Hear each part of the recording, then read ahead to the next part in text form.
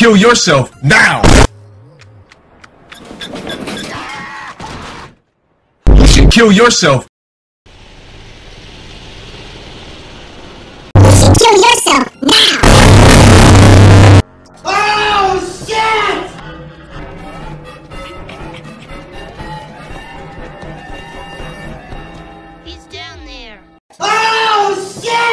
Wishing death upon someone on their 18th birthday not just for supporting Palestine but a mere act of having a political ideology in the first place?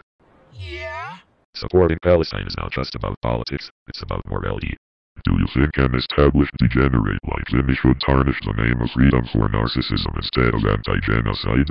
I guess so. You fucking cretin! Well, if you're going to go target random people on the internet for stupid reasons without rhyme or reason, then don't be surprised if they start attacking back. This moron thinks that people who have political ideologies should die on their birthday, but they don't realize that they themselves are political and that their birthday was recent, so it's the perfect opportunity to give them a taste of their own medicine. I shouldn't have to deal with this bullshit, especially after being sexually harassed prior, and you can't dictate who gets free speech and who doesn't.